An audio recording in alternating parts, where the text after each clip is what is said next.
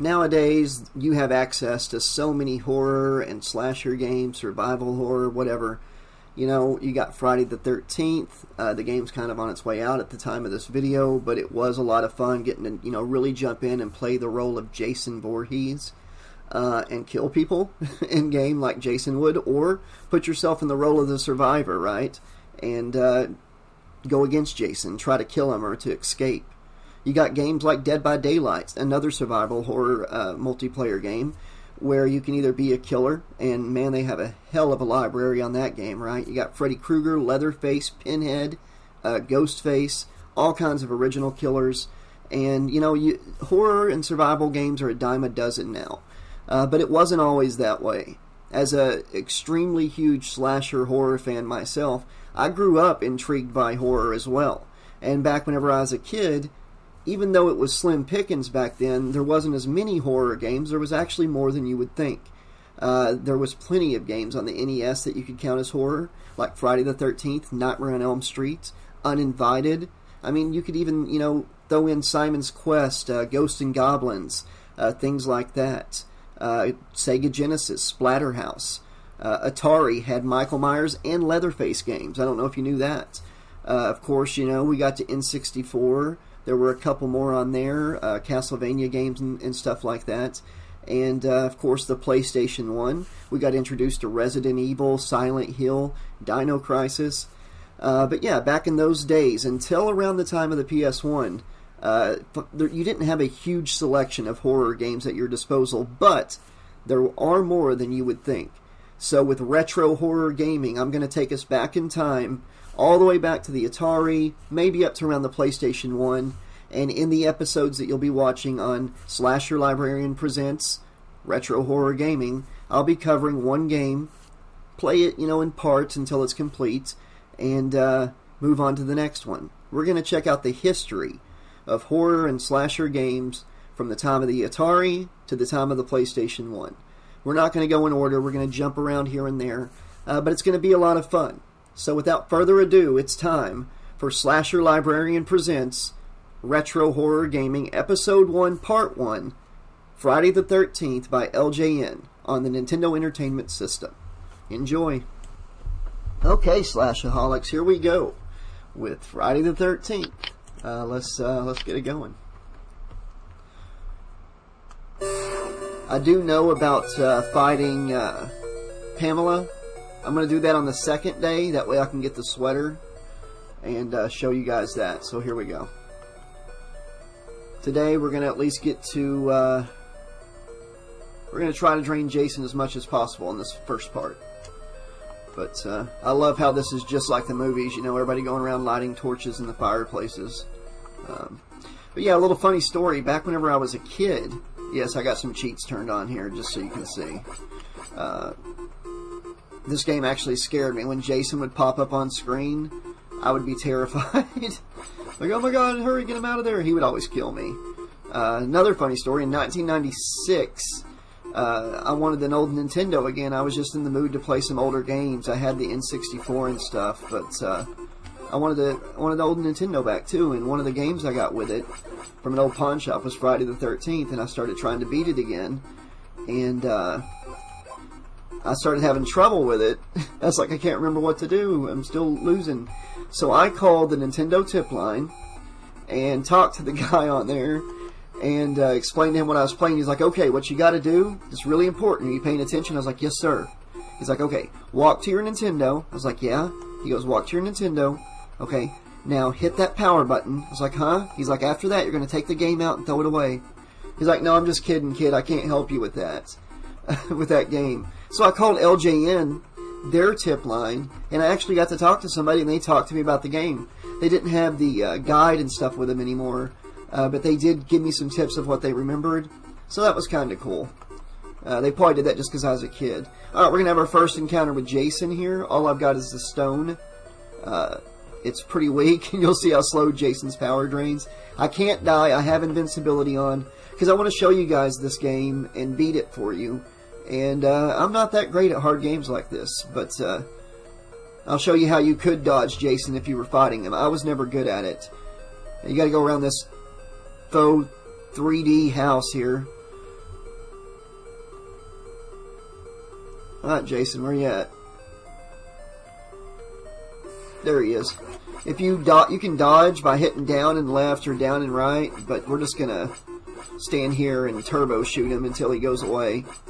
Another secret, if after you defeat Jason, if you leave the house and go the right direction, you can catch him running to the next house, and you can kind of stay up with him that way. But what you're supposed to do is get the lighters and go around and light all the fireplaces, and then you get a flashlight. I don't think Jason went this way, so we're going to go back this way. But we need to start lighting the uh, the fireplaces, I believe. It looks like he probably uh, left and uh, went down one of those paths, so I didn't, wasn't able to catch him this time. Uh, but let's light the fireplace here. You, you want to light all the fireplaces, and you get a flashlight, and then you can go into the caves, uh, and it lights that up for you. Oh, see, it's so confusing on this thing. Uh, you know, the cabins in Crystal Lake, you know, with the uh, brown walls and uh, shit green floors um, with no furniture. That's what I remember from the movies. This is, in fact, the Jarvis home. Oh my god, I'm back there.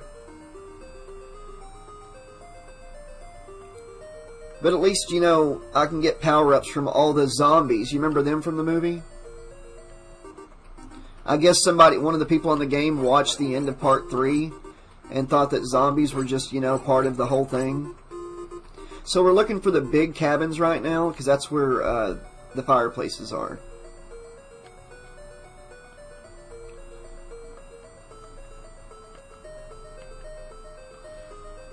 It's just hard to get a... There we go. And there's notes and stuff you can find that gives you hints on where to go. Uh, the sweater helps you take less damage, which doesn't really matter since I've got invincibility on. But we're going to go ahead and get it anyways on the second day, probably in the next video. Uh, just so we can... Uh, so I can show you all the different things you can do in the game, at least the stuff that I know. I'm killing these zombies trying to get a better weapon. Okay, I've got to get all the way over to that uh, blinking cabin, so let's see if I can get there in time. I got super jump on here. Uh, you'd think I'd go this way, right? Is this, am I going the right way? Yes, I'm going the right way, okay. You kind of turn around at the maps. Oh, I saw the knife down there. Oh man, I missed it. Uh, I might need that to heal some other counselors. Remember the uh, zombies that jumped out of the water in all the water scenes in uh, the Friday the 13th movies? Oh, there's Mr. Jason. Alright. Uh, oh my god, these kids are more terrifying than Jason is. Look at their faces. Ugh. I'm not sleeping tonight. Alright, let's go fight Jason now.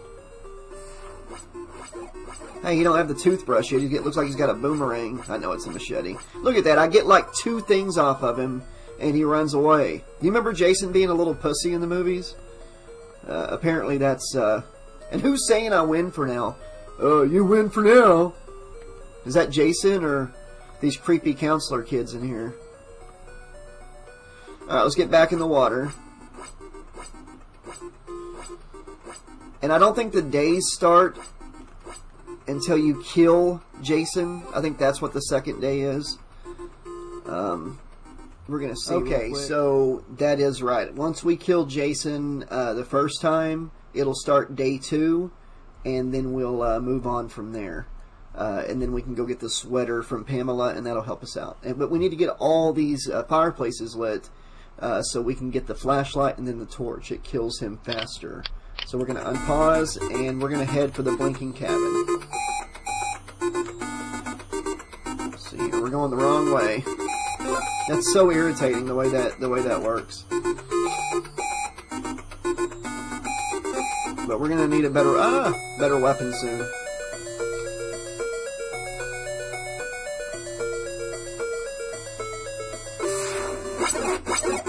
Yes, I know it's probably not as cool that I'm uh, fighting this and uh, cheating with invincibility, but this is about the, you know, beating the game, getting through it, showing you everything in it, and not so much seeing me die over and over and over again. Though I can see how that would be fun too. So we win for now. I just pictured Jason's mother's voice saying that now, I guess. You win for now, but my boy will get you. Uh, there's Chrissy. Uh, everybody remember Chrissy from the films? Uh, you know, wearing the really ugly clothes and uh, no face. Uh, my my oldest sister's name is Chrissy. That's uh, it's Christina. Uh, we called her Chrissy growing up, and uh, I remember this always freaking me out, thinking my sister was in the game getting chased by Jason. Um, so here we go. We're gonna try to see if we can figure out which way Jason went. If he went that way, he probably went down that path. There's a key we can use for later uh, to get into Pamela's room. I did not mean to do that. Um, yeah, Jason probably took one of these paths, so... Alright, let's start doing the torches again, or the lighting the fireplaces again. Um, so we can get the torch. That really, that really... Oh, there's a note there. Let's see here. We're going to take the note. Go into the cabin near the cave. Okay. Sure. I planned on going into all the cabins, but, uh, who wrote this note anyways? You know, who's giving him clues? Is it just some guy creeping in the shadows? Or is Jason just setting me up, you know? Yeah, go into that cabin near the cave. Alright, here we go. We're gonna get back after it, light some more fireplaces, because that's the, you know, that's the plot of all the Friday the 13th movies. We need to kill some zombies. Yeah. Look at this. It just goes over their heads half the time. Alright, we gotta get to the kids. Alright, we'll come back up here, see if we missed anything. Did, did we get this one? Pretty sure we got all the, the big cabins up here, but let's let's make sure. Oh, we did not. Okay. So I think that that was the last of them. Little snuffy, sorry about that. Ah, I get so lost in this fake 3D crap. Um, but I do have fond memories of this game, even though I died all the time. It was fun to play and scare myself. Every time Jason would pop out uh, in a house or... Ooh, we don't want to go there. Where are we at? Oh, wow, I, I totally went the wrong way. Anytime he'd pop up uh, to fight in a house or on the road, it would always freak me out. Uh, I would jump. Alright, so we're going to go this way, I think.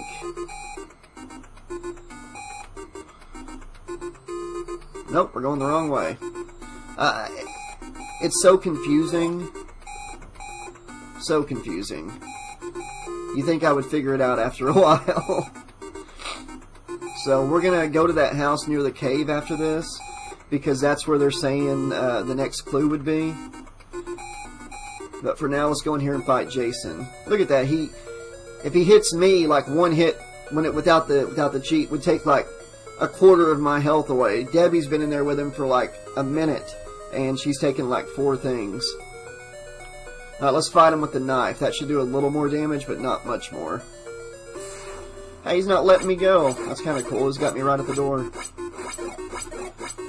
Hey, he's got his toothbrush. Come here, I'm going to brush your teeth, Josh. I win for now. Alright, let's see if we can figure out which way he went. Nope. There we go. See, if you can... And we can just keep following him now. This is a way to get to the second day a lot quicker. You just keep following Jason. He probably went in this one, yep. And we're going to chase him down again after this, guys. We're going to get to day two and uh, take it from there. But I'm really, I'm really excited about doing these videos with you. I love classic video games, especially the classic horror ones. I'm looking forward to Uninvited. I think you guys are going to enjoy that one. It's kind of a point and click game from back then, but it's got some pretty scary moments in it. Alright, looks like Jason got away from us this time, guys. But let's go ahead and let's go ahead and uh, light the fireplace while we're here.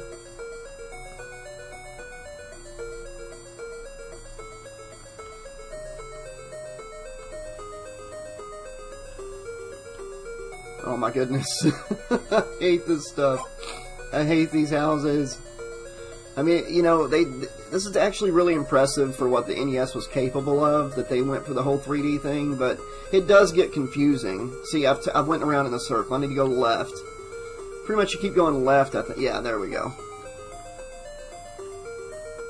Oh, there's a note. Let's see here. You can find a torch in one of the cabins by the lake. I really want to know who's going around writing these notes and leaving them. I, I, I, have my suspicions that it's Jason just trying to set you up. Come on, come on, come by the lake. You get a torch. Yeah, you get a torch up your ass. Uh, so yeah, we'll we'll, we'll go. We'll, we'll head to the lake. So we're by the lake. It says there's a torch here somewhere. I don't know if it's this cabin, but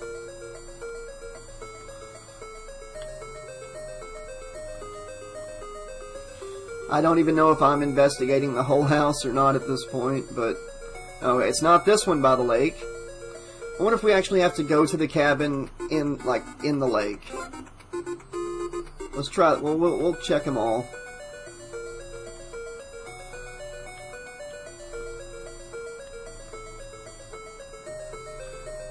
Do do do do do do do do do do. This music is creepy too after a while. I don't see a torch in this one, so we're gonna keep... Oh, there it is! Hey! And this thing is a beast. This is the best weapon in the game. The best.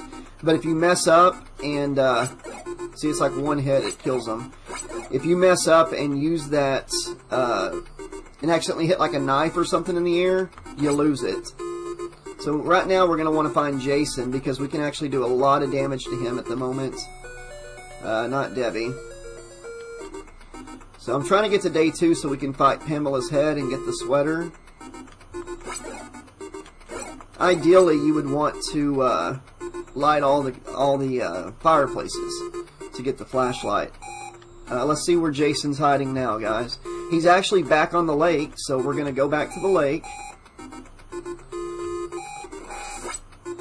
Hey, look, I'm lighting the, the water on fire.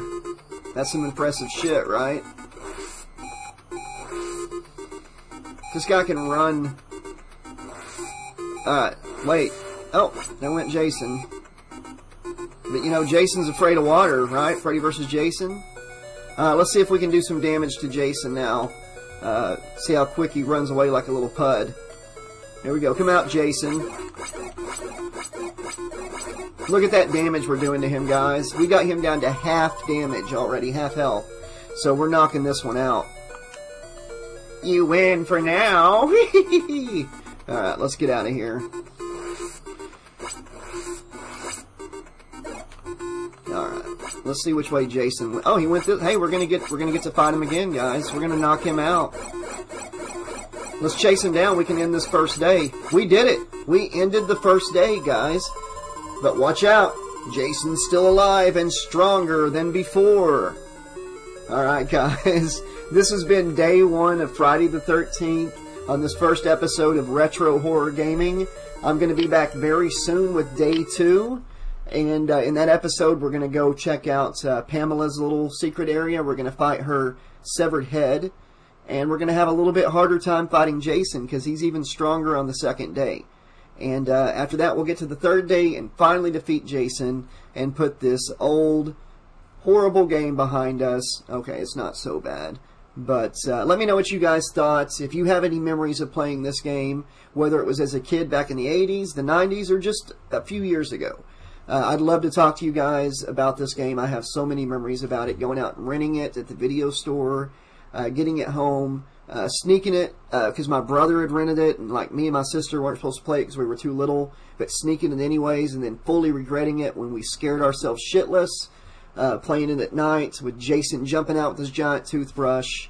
Uh, I, I love you guys. I hope you had a lot of fun with this. Part two will come out soon. That'll be day number two, and we're going to take Jason out again. I expected this episode to be a little bit longer, but we found the torch quicker than I expected. And that torch is a beast.